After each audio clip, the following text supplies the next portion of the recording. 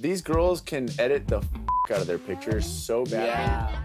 You got to look at stuff behind her Yeah, and if it's all warped- Because if this is somewhat warped at all, it's fucking fake. And then you see him in person, you're Uh, like, what? editing your photos for Instagram. Someone like, beat you with an ugly stick. Just take pictures Yeah. Google, put to Yeah. the DM profile, start talking to Who does that? Yeah, like, weird people. guys. They do do it though. When they're A lot of guys.